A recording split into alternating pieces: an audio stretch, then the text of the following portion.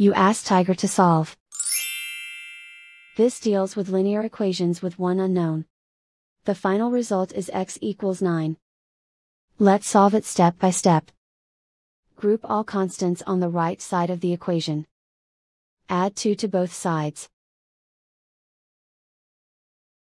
Simplify the arithmetic.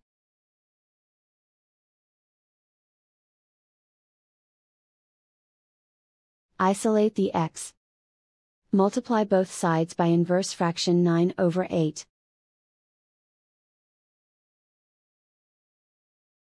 Group like terms. Multiply the coefficients. Simplify the fraction. Multiply the fractions. Simplify the arithmetic.